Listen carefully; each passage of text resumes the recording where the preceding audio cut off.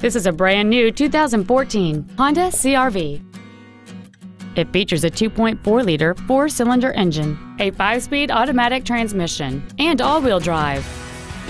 All of the following features are included. A split folding rear seat, cruise control, a rear window defroster, a CD player, front side impact airbags, traction control, four-wheel disc brakes with ABS, a keyless entry system, a rear window wiper, and air conditioning.